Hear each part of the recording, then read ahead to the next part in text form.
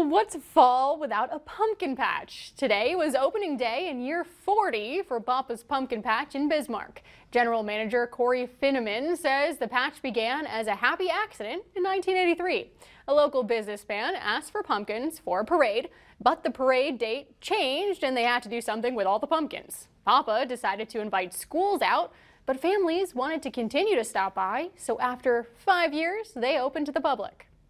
Uh, it's a lot of perseverance. It's a lot of uh, creativity to, stay open and make it uh, viable for guests to come back every year, and it's a lot of helping hands.